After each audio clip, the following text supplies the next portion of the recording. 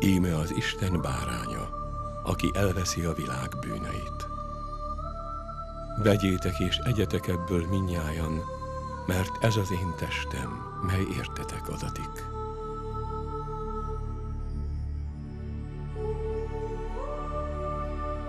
Vegyétek és igyatok ebből minnyájan, mert ez az én vérem kejhe.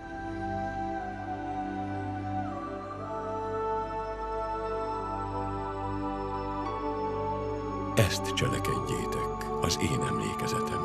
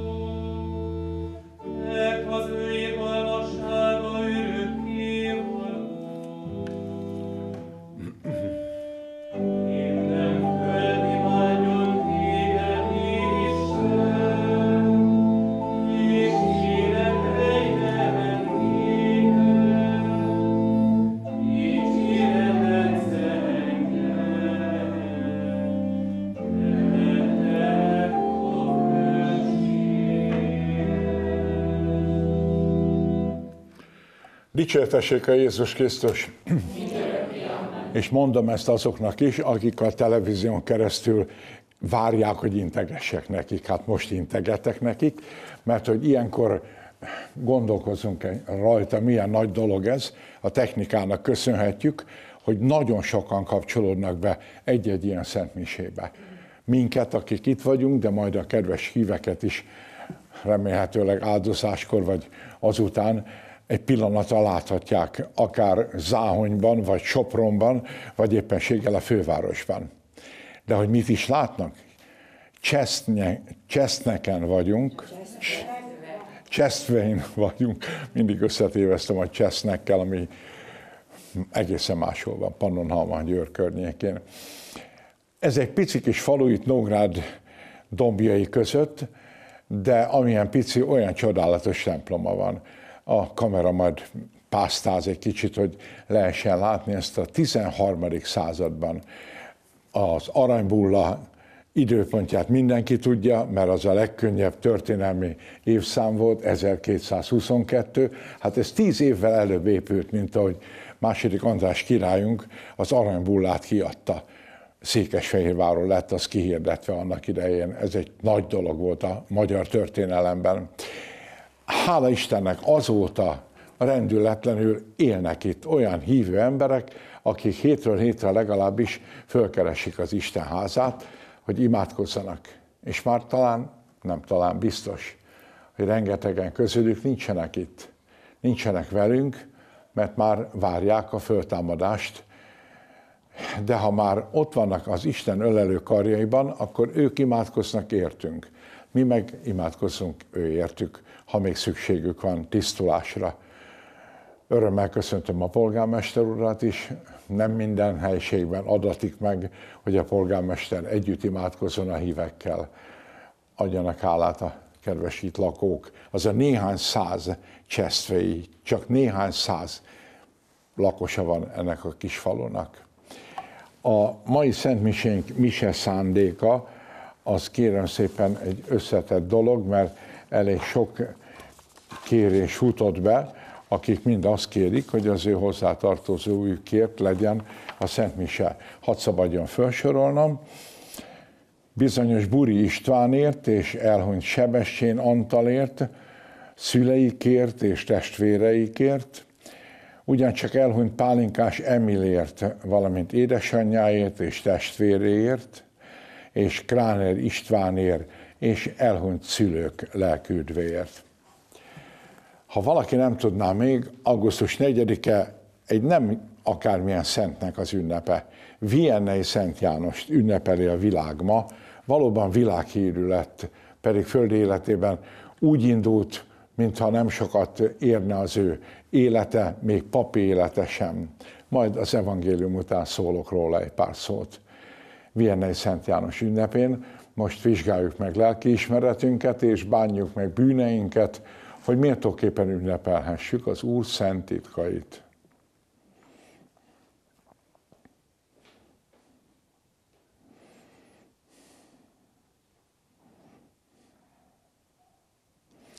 Gyónom a mindenható Istennek, és nektek testvéreim, hogy sokszor és sokat védkeztem gondolattal, szóval, cselekedettel és mulasztással én védkem, én védkem, én igen nagy védkem. Kérem ezért a boldogságos, mindenkor szeplőtelen Máriát, az összes angyalokat és szenteket, és titeket, testvéreim, hogy imádkozzatok érettem Urunkhoz, Istenünkhöz. Irgalmazon nekünk a mindenható Isten, bocsássa meg bűneinket, és vezessen el az örök életre.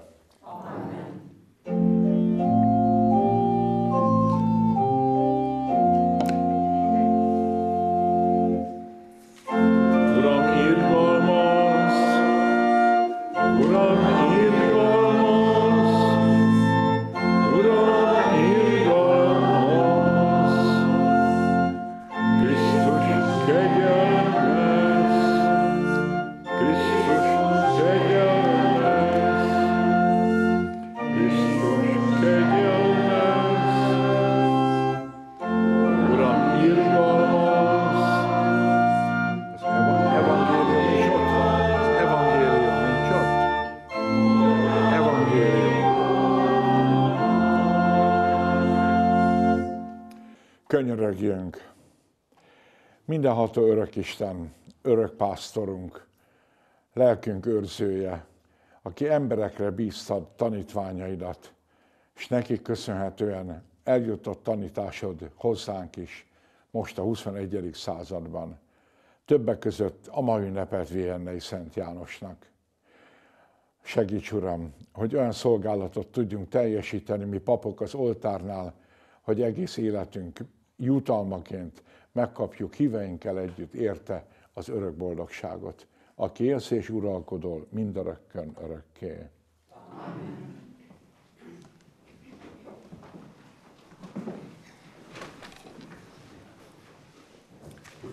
Olvasmány Mózes negyedik könyvéből. Amikor a választott nép a fáráni pusztában tartózkodott, az Úr ezt mondta Mózesnek. Küldj férfiakat Kánaán földjére, hogy kémleljék ki azt a földet, amelyet népemnek akarok adni.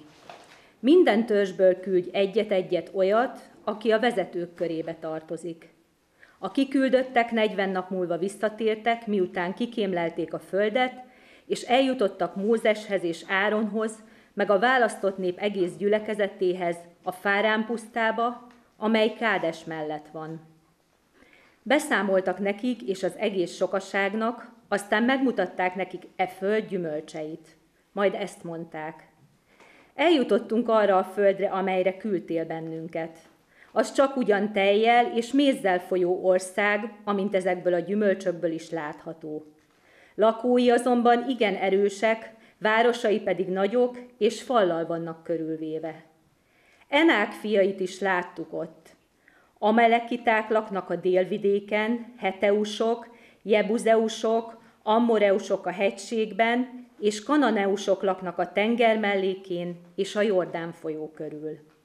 Erre a nép zúgolódni kezdett Mózes ellen, de Káleb csendesítette őket. Menjünk csak fel bátran, és foglaljuk el azt a földet, mert bizonyosan el tudjuk foglalni. Ám a többiek, akik vele voltak, azt mondták, nem mehetünk fel olyan nép ellen, amely erősebb, mint mi. Sőt, gyalázták népünk előtt azt a földet, amelyet megtekintettek, és azt mondták. A föld, amelyet bejártunk és kikémleltünk, elemészti lakóit, népe, melyet láttunk, szálfa termetű. Láttunk ott néhány óriást Enák fiaiból, az óriások nemzetségéből, akikhez képest mi olyanoknak látszottunk, mint a sáskák. Emiatt jajveszékelve sírt az egész sokaság azon az éjszakán. Az úr ekkor így szólt Mózeshez és Áronhoz. Meddig fog még zúgolódni ellenem ez a hálátlan nép? Meghallottam népem zúgolódását. Mondd meg tehát nekik, ezt üzenem nekik, én, az Úr. Amilyen igaz, hogy én élek, olyan igaz, hogy úgy bánok veletek, ahogy a fülem hallatára ti zúgolódtatok. Ebben a pusztában fog heverni holtestetek. A megszámláltak közül, aki húsz éves elmúlt és zúgolódott ellenem, senki nem megy be arra a földre. A ma 40 nap számának megfelelően, amelyet alatt szemügyre vettétek az ígéret földjét, egy-egy esztendőt számítva minden napért, 40 esztendeig fogtok lakolni gonoszságotok miatt, és megismeritek bosszúmat. Ahogyan megmondtam én az Úr, úgy fogok bánni a nagyon gonosz sokasággal, amely fellázadt ellenem, ebben a pusztában fog elpusztulni és meghalni. Ez az Isten igéje.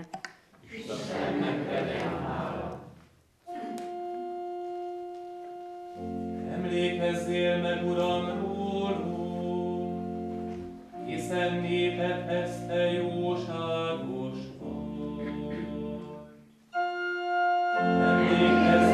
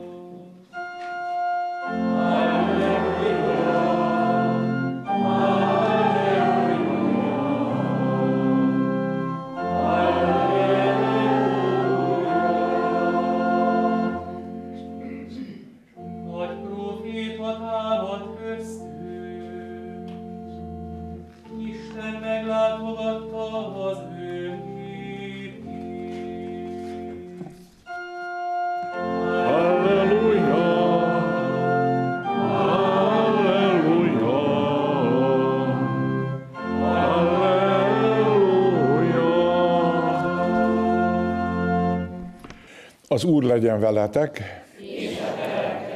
Evangélium Szent Máté könyvéből. Egy alkalommal Jézus tovább haladt Tírus és Szidén, Szidón vidéke felé.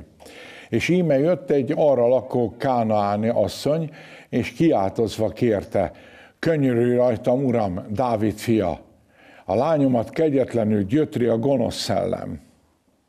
Ő azonban szóra sem méltatta őt. Végül oda mentek hozzá tanítványai, és arra kérték, küld előtt, ne kiáltozzon utánunk.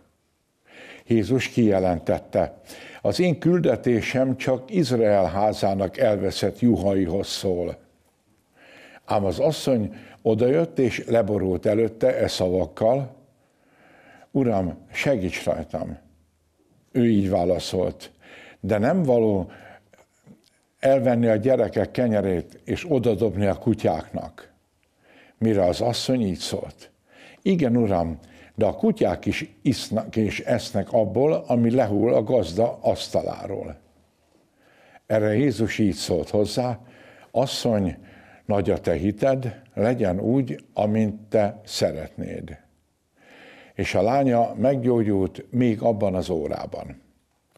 Ezek az evangélium igéi. Csücs.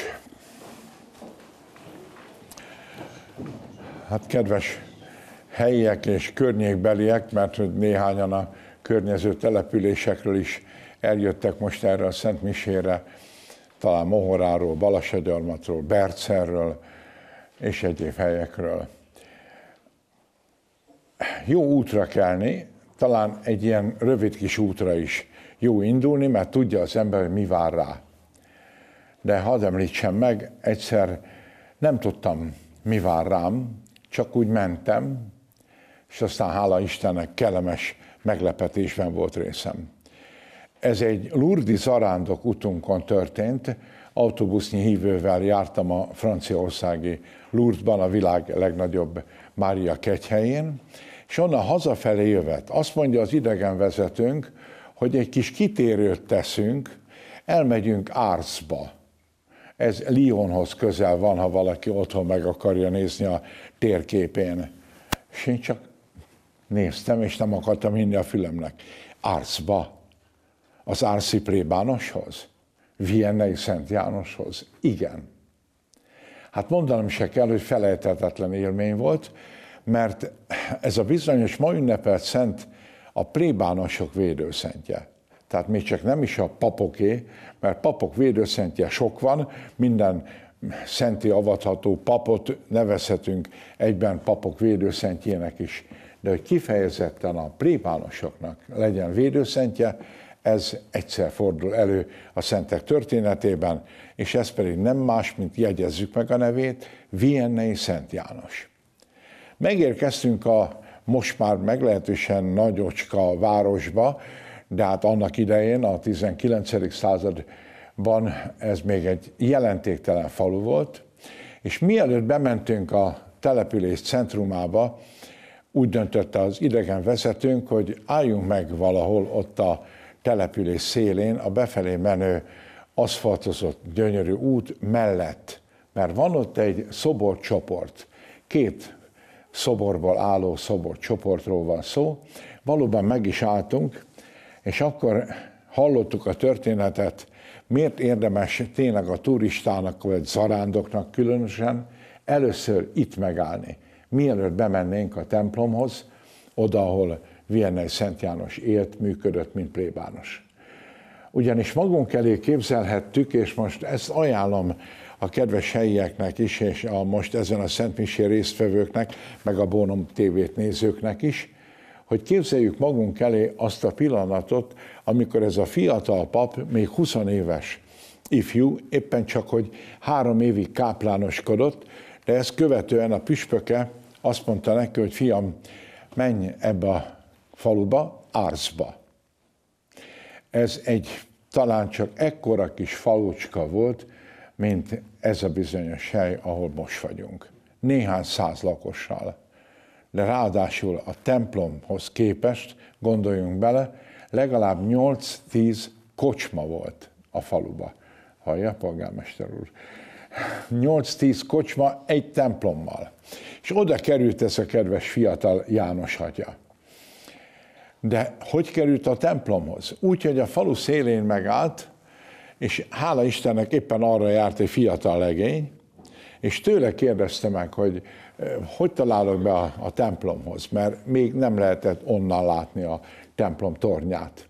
És a kisfiú kedvesen pedig nem tudta, hogy egy papbácsival van dolga, megmutatta neki, hogy melyik úton menjen, aztán majd hol kell egy kicsit elfordulni, gyalogosan érkezett, ki tudja honnan, milyen távolból a fiatal atya, egy táskával abba volt mindene, és erre a kedves János atya a következőt válaszolta neki. Köszönöm, kisfiam, hogy te most megmutattad nekem a Prébániához vezető utat. Én ígérem, megmutatom neked a Mennyország felé vezető utat. A kisfiú nőt nődögélt később, és ezt a mondatot soha nem felejtette el, már csak azért sem, mert előbb-utóbb rádöbbent, hogy tényleg ezzel a nappal eldőlt az ő sorsa. Ezen a napon megérintette őt a Jóisten szeretete, ezen a Jóisten küldötteként eléje kerülő papon keresztül, és már soha életében nem tért le a Mennyország felé vezető útról. Szépen elkészített szobra van ott, tehát ennek a kedves atyának, aki akkor még fiatal volt, de aztán ott öregedett meg, egészen haláláig ott volt, 73 éves volt, amikor meghalt, és a fiatal legénykének a, a, az alakja is meg van mintázva, még pedig olyan pozícióban éppen mutatja az utat, hogy arra menjen az atya, valahol ott van a templom, meg a plébánia. És belevágott Viennei Szent János a nagy munkába. Hiába ment volna el, ő maga mondhatta ezt el paptestvéreinek, ezért jutott el hozzánk is a híre, mondjuk egyik-másik kocsmába, hogy legyen szíves már bezárni ezt a kocsmát, mert hát micsoda dolog az, hogy itt italoznak, részegeskednek, aztán tántorognak haza. Egyikük se hallgatott volna rá. Nem is tette. Ő a templomba ment, és a templomban két dolog, amit hangsúlyozok imádkozott és szeretett. A szeretetet gyakorlatilag abban nyilvánította ki, hogy beült a gyóntatószékbe, és nem bírálva, nem keményen odapörkölve a gyónónak, még csak nem is valami komoly penitenciát elégtételt föladva, mert előre megígérte, hogy az, elégtétel nagy részét, ha az imádság lesz, vagy bibliaolvasás, akkor ő maga inkább elvégzi. Csak legyen boldog az, aki hallhatja tőle, hogy si capax est ego te absolva peccatis tuis in nomine Patris et Filii Spiritus Sancti. Amen. Én föloldozlak téged az Atya, a Fiú és a Szentlélek nevében. Hát előbb csak egy-két emberke tévedve az új paphoz, de ott olyan szeretetet kaptak, ezt nem tudjuk elképzelni sem könnyen, legalábbis én magam így vagyok vele, de mégis, ha ennek az lett az eredménye, ami lett, akkor ez valahogy így fogalmazható, hogy egy természet fölötti, egy feltétel nélküli szeretetet sugázott ez az ember. És ezért kezdtek már idővel sorba a gyóntatószék előtt. Nem akarom túl hosszan ecsetelni a teljes élettörténetét, csak a végeredményt akarom még aláhúzva megemlíteni. Képzeljék el a kedves jó testvérek, hogy a végén már egyházi előjárók, püspökök jöttek gyónni hozzá, és világi előjárók, tehát földbirtokosok, nagyuraságok. Mert valahogy úgy látszik, ez hiányzott az embereknek. Hogy valaki megbocsássa Isten nevében a bűnöket, de nem úgy, mint egy bíró, aki esetleg elenged a jogos büntetésből két évet, és így csak hármat kell leülnie, annak, akit lopott valamit, vagy súlyosabb bűnt követett el, hanem végtelen szeretettel. És az előbb múlt időben mondtam, erre szomjazott talán akkora nép, de én azt hiszem, ma ugyanígy van. Ez a világ, ez a mostani emberiség élhet Franciaországban vagy Magyarországon, bárhol, szeretetre szomjazik.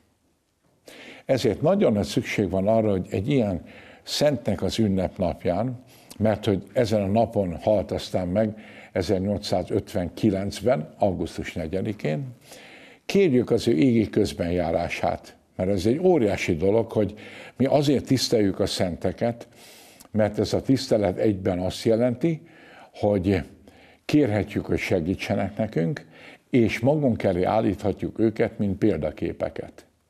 Tehát azt kérjük ettől a szent paptól, hogy imádkozzon értünk papokért, és a hívekért, a gyónásra készülőkért, azokért, akik már régen gyóntak, és esetleg még most se ütemezték be olyan egyértelműen.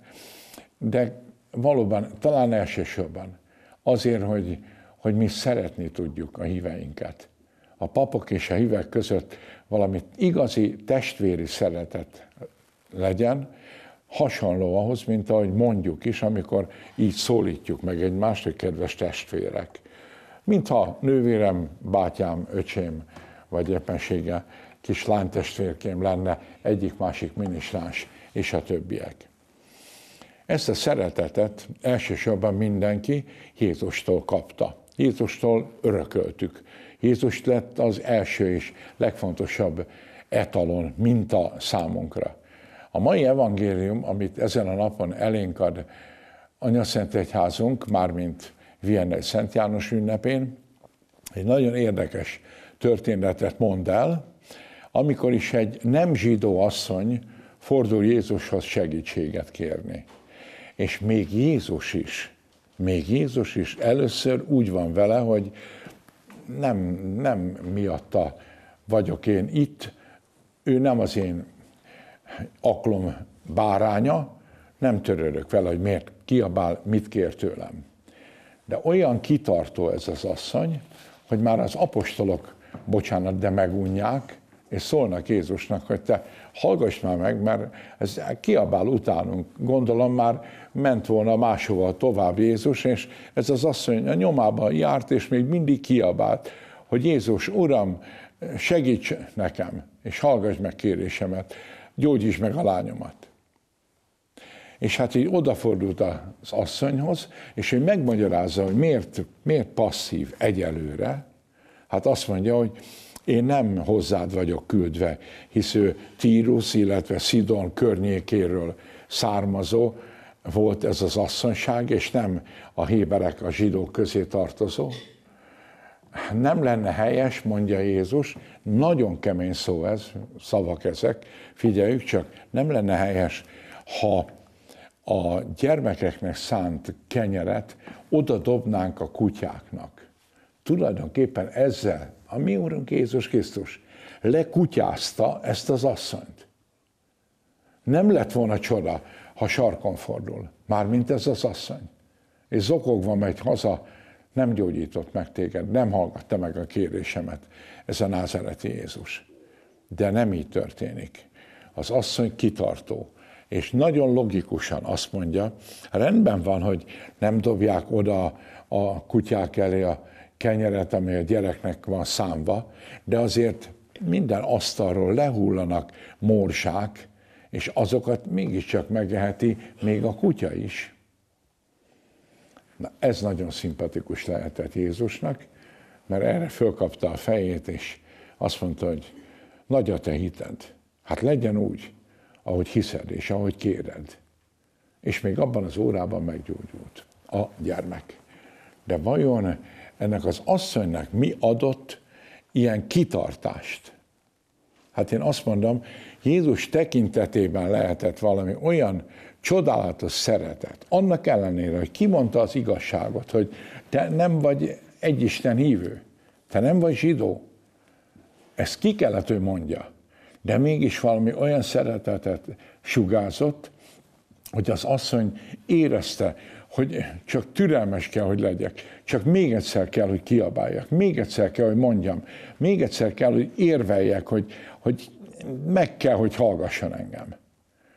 Tehát a tekintetéből. Emlékezünk arra, amikor a későbbi Máté apostolt meghívja Jézus apostolának, aki ugye Kafarnaumban volt vámszedő. Ott ült egy vámszedő asztalnál, egy kis irodája volt, és a kifelé menő, befelé menő forgalmat kellett, hogy ő lekezelje, úgy, hogy beszedje a vámot. Részben Rómának továbbítva, részben a helyi közösség javára, de a saját zsebére is.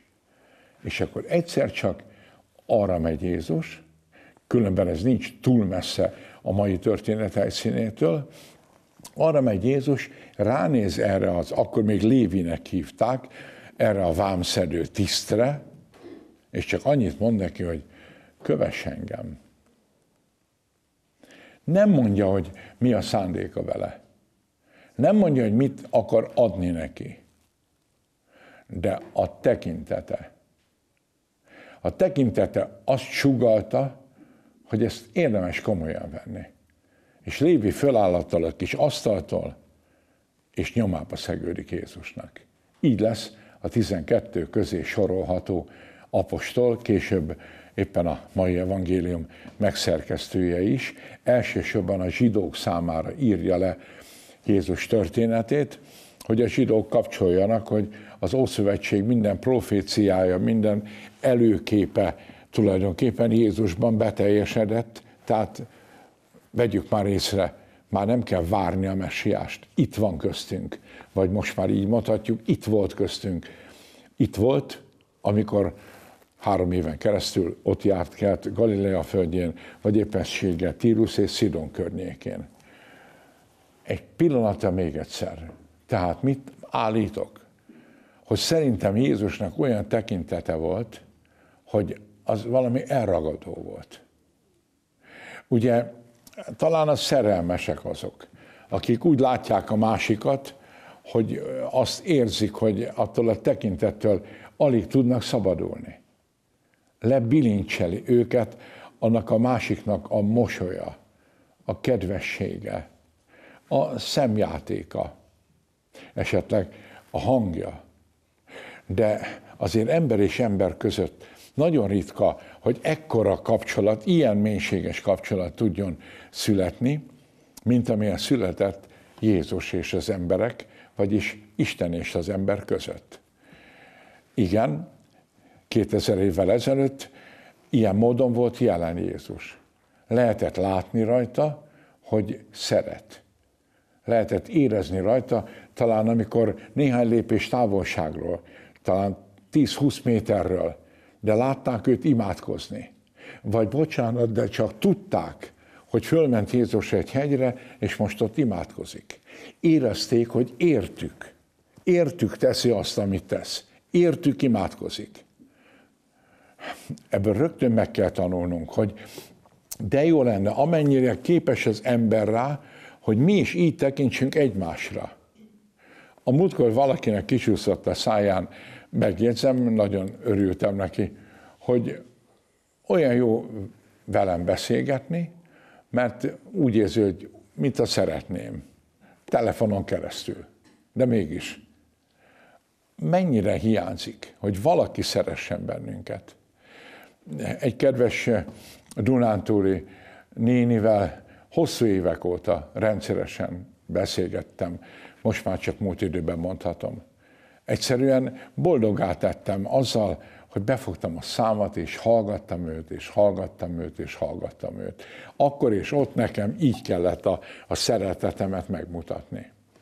De ebben az évben, amikor már csak egy hónap választ el bennünket attól, hogy megkezdődjön hazánkban az eukarisztikus kongresszus, arra is gondolnunk kell, hogy az oltári szentség látványa is egy ilyen lenyűgöző látvány kell, hogy legyen számunkra. Ne csak azt a fehér ostját lássuk meg a papnak a kezében, amikor nyújtja nekünk és mondja, hogy Krisztus teste, vagy amikor fölemeli az úr felmutatáskor csengő szó kíséretében, sőt, harangszó kedves kíséretében, és esetleg letérdepelve mondjuk, hogy Uram, nem vagyok méltó, hogy hajlékomba ő, stb. Többet kell, hogy lássunk, mint ami ezzel a szemmel látható. Ez a más látás, másként látás, a hittel való látás. Most épp egy előadásra készülünk majd, egy előadás megtartására és meghallgatására vasárnap Szászalombattán. Tessenek elképzelni, egy sejt élettan kutató egyetemi tanár, a Szent István Tudományos Akadémia tagja és mindenféle tudományos fokozatnak a birtokosa, tart előadást nem hiszi el, aki még nem hallotta. Miről? Az oltári szentségről. Az eukarisztiáról egy sejtélettankutató, dr. Keller Mayer Miklós. Szászalon Batán remélem megtelik a templom vasárnap 11 órakor, hogy meghallgassunk egy természettudóst arról, hogy mit jelent neki az oltári szentségre való rápillantás, ránézés. Hogyan látja abban a fehér szentossában Jézus arcát? Hogyan hallja Jézus hangját a pap csetlő botló szavain és hangján keresztül? Hogyan tud találkozni vele, holott nem a Genezáreti partján vagyunk, ahol ott sétált Jézus nem Jeruzsálemben, nem Jerikó utcáin, hanem egy templomban, lehet, hogy ilyen gyönyörűben, mint ez a templom, vagy bármelyik másban, de ott van az a Jézus, aki ott sétált a Genezáreti tó partján, aki meggyógyította a vakon születettet Jerikóba, stb. stb. A hit szemüvegét kell fölvennünk, hogy meglássuk ezt, hogy szeret bennünket az Isten, hogy szeret minket az Isten. Imádkozni azokért, akik még ezt nem tapasztalták meg, és szeretni őket Isten nevében, ez a mi kötelességünk. Ebben mutat példát Vianney Szent János, és ehhez ad erőt minden szent áldozás. Ezen a Szent Misén is. Majd gondoljunk rá, akár amikor valóban magunkhoz vehetjük itt ebben a templomban, a Szent Ostyában lakó Jézust, akár otthon lelki áldozást végezve, saját otthonában, szobácskájában, aki nem tud eljutni, talán már régen sehova templomba legyünk lélekben egyek, együtt, és örüljünk annak, hogy minnyájunkat vár, most már nagyon vár Jézus. Hisz nem csak mi indultunk el, ahogy mondtam, Mohoráról, Bercerről, Gyarmatról, Jézus is elindul mindig. Valami lelki értelemben látja, amikor te is elindultál. Látta, amikor a kis pincurka fölkötötte a fejére a gyönyörű pártát, azzal jelezve, hogy nem akármilyen találkozásra készül. És jön Jézus, jön egyre közelebb és közelebb. Körülbelül 10 perc, és megérkezik. Ha nagyon szeretnénk, hogy jöjjön a pápa, remélem szeretnénk, és joggal, és örömmel mondom, hogy fog is jönni szeptemberben, hát gondoljunk arra, ő Krisztus földi helytartója, de minden szent misében közénk jön Jézus, és szeret minket. Vianney Szent János könyörög életünk. Amen.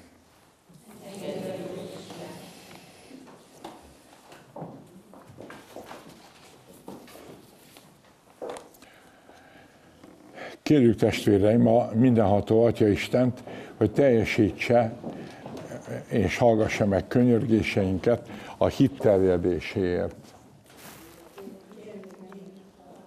Nem olvasom? Olvasom. Egy pillanat.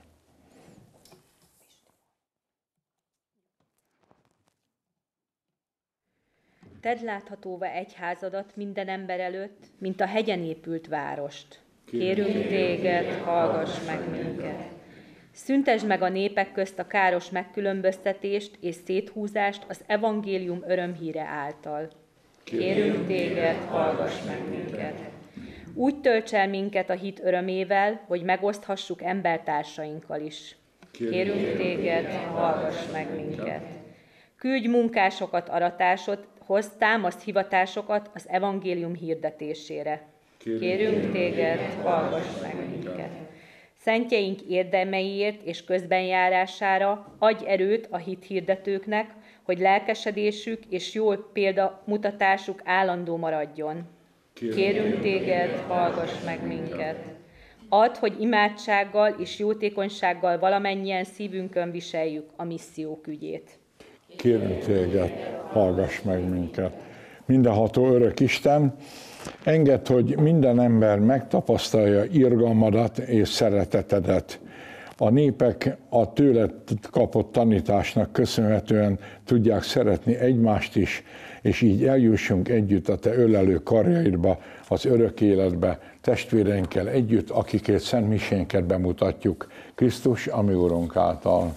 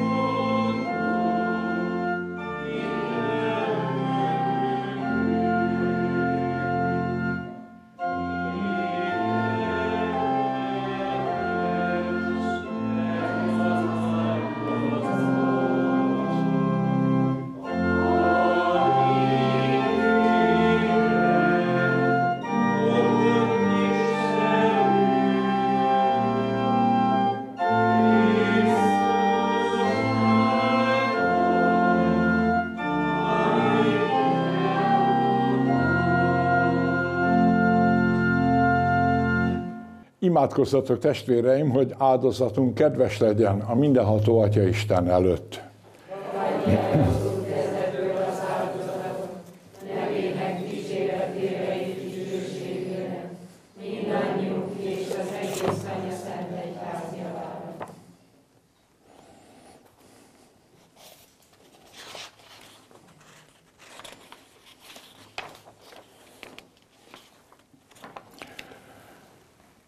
Urunk Jézus Krisztus, aki megajándékoztál bennünket a kenyérrel és a borral Viennei Szent János ünnepén. Add, hogy ahogy az ő kezében, most a mi kezünkben és jelenlétünkben is megváltozzon ennek a kenyérnek és bornak eszenciája, és legyen ez számunkra a te tested és véred, aki élsz és uralkodol mindörökkön örökké.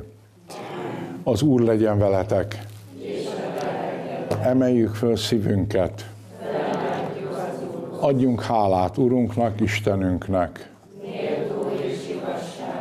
Valóban méltó és igazságos, illő és üdvös, hogy mindig és mindenütt hálát adjunk neked, mi Urunk, Szentséges Atyánk, mindenható Örökisten, Krisztus, ami Urunk által, mert megadod egyházadnak, hogy örvendezzék Szent Vianney Szent János ünnepén, és örömében föláll, fölmutassa önmagát, mint áldozatra fölkínált szemét, akinek te adtad meg a hitet, hogy oda tudja nyújtani neked teljes életét.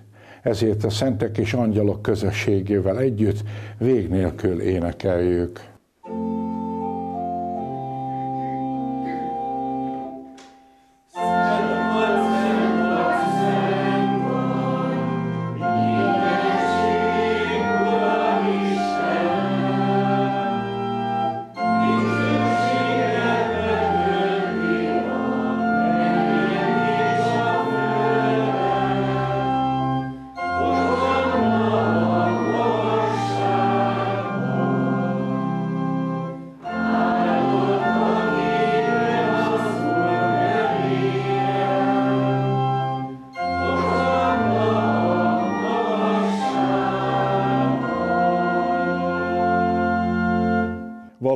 Szent vagy Istenünk, minden szentség forrása.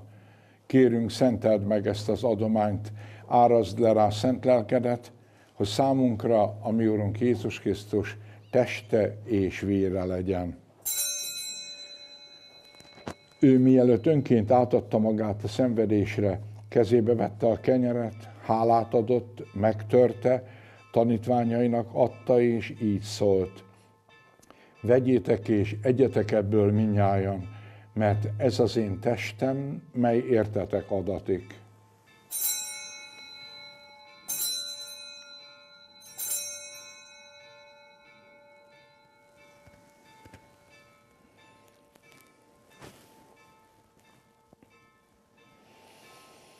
A vacsora után ugyanígy kezébe vette a kejhet is, majd ismét hálát adott, odaadta tanítványainak, és így szólt. Vegyétek és igyatok ebből minnyájan, mert ez az én vérem kejhe, az új és örök szövetségé. Ez a vér értetek és sokakért kiontatik a bűnök bocsánatára. Ezt cselekedjétek az én emlékezetemre.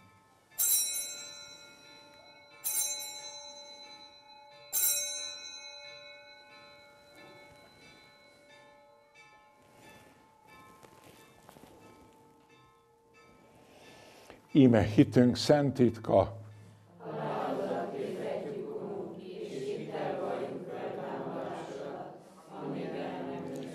Ezért fiat halálának és feltámadásának emlékét ünnepelve felajánljuk neked, Istenünk, az élet kenyerét és az üdvösség kejhét, és hálát adunk, mert arra méltattál minket, hogy színed előtt állhatunk és szolgálhatunk neked.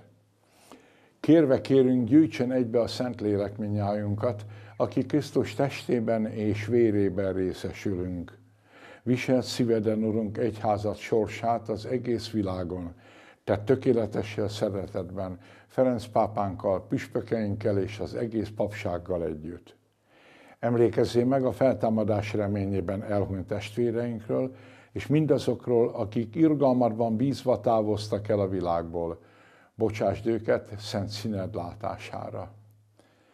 Könyörű kérünk minnyájunkon, hogy Isten anyjával, a boldogságos Szűz Máriával, jegyesével, Szent Józseffel, Viennei Szent Jánossal, és minden szenttel együtt, akik a világ kezdete óta kedvesek voltak előtted, részesei lehessünk az örök életnek, és dicsőítve magasztaljunk téged, Jézus Krisztus, a te fiad által ő általa, ő vele és ő benne, a tiéd mindenható Atya Isten, a Szentlélekkel egységben, minden tisztelet és dicsőség mindörökkön örökké. Üdvözítőnk parancsára és isteni tanítása szerint így imádkozunk. Mi, Atyánk, aki a mennyekben vagy, szenteltessék meg a Te neved, jöjjön el a Te országod, legyen meg a Te akaratod, amint a mennyben, úgy a földön is. Minden napi kenyerünket Add meg nekünk ma, és bocsásd meg védkeinket, miképpen mi is megbocsátunk az ellenünk védkezőknek, és ne vigy minket kísértésbe, de szabadíts meg a gonosztól. Szabadíts meg, kérünk, Urunk, minden gonosztól, adj kegyesen békét napjainkban, hogy irgalmadból mindenkor bűn és baj nélkül éljünk, míg reménykedve várjuk az örök boldogságot, és üdvözítőnknek Jézus Krisztusnak dicsőséges eljöttét.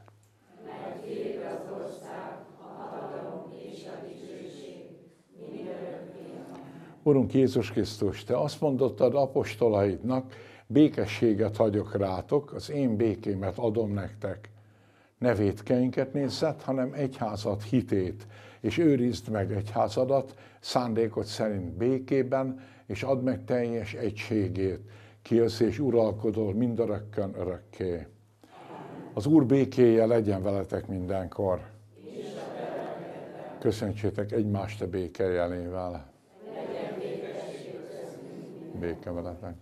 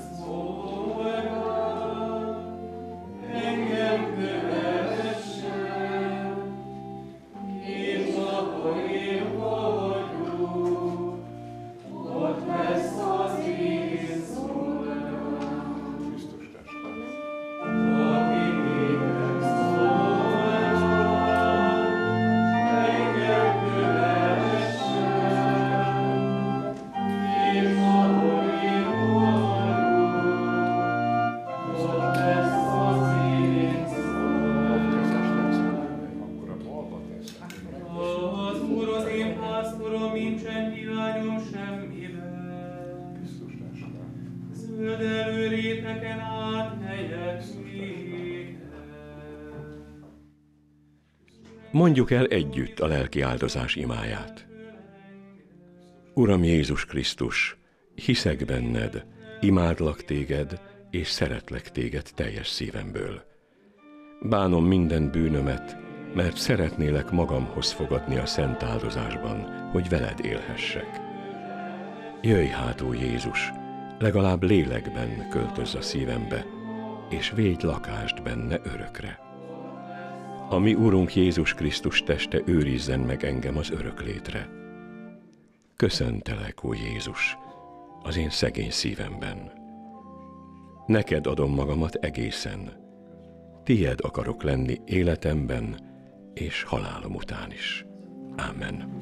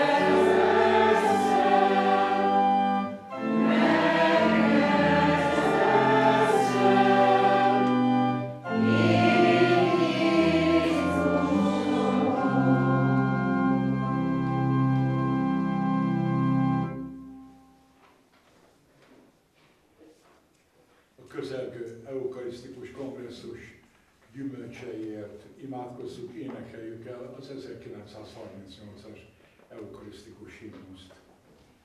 Győzelemről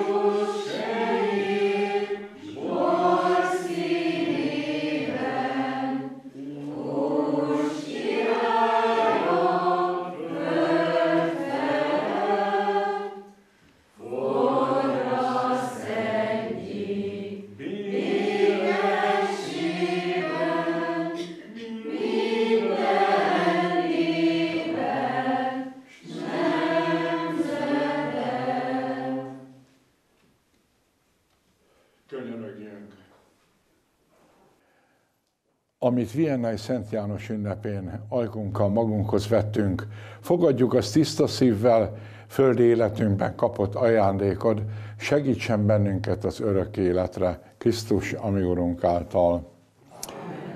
Kedves jó testvérek, köszönöm, hogy egy ilyen, nem akármilyen helyen lehettem ezen a napon. Előttem van az a Szent Mise, amelyet meghatódottan mutattam be annak idején ott Árzban, Viennei Szent János holtestétől talán egy méterre viasz bevonattal, de láthatóan ott fekszik a kedves gyóntatószékben néha naponta 16 órát is eltöltött atyának a holteste, ott várja a feltámadást. De ami ennél is meghatóbb volt, hogy a sekressében azt a kejhet kaptam a mise bemutatásához, amelyet még Vianney Szent János is a kezébe tartott. Ne felejtsünk el hálát adni őseink hitéért, amelynek köszönhetően eljutott hozzánk is Jézus híre és a szentek híre. Örülök annak, hogy minden valószínűség szerint bekapcsolódtak ebbe a Szent Misébe sokan Budapestről, vagy éppenséggel a Dunántúról, szóltak előre, hogy kaposváriak is fogják nézni, csavrendekiek, sümegiek, székesfehérváriak, és természetesen szászalombattaiak is, ahol most egy éve teljesítek szolgálatot, és innen a környékből is, és a távolabbi Tiszántúról is sokan voltak lélekben velünk. Az Úr legyen veletek, áldja meg benneteket a mindenható Isten, az Atya, a Fiú és a Szentlélek. Örömmel hirdetem, hogy mához két hétre még egyszer innen Palócföldről lesz Szent Mise, a Berceli Nagyboldogasszony kápolnánál mutatom be ugyanígy szerdán délután 5 órakor a Bónum Televízió Szent Miséjét. Aki most hazamegy, ezt természetesen nem látta, de este 8 órakor a Bónum megismételi. Tehát otthon még egyszer megnézhetjük ezt a Szent Misét. Most a Szent Mise véget ért. Járjatok Krisztus békéjében. Szép estét, jó éjszakát kívánok. Dicsértessék Jézus Krisztus. thank you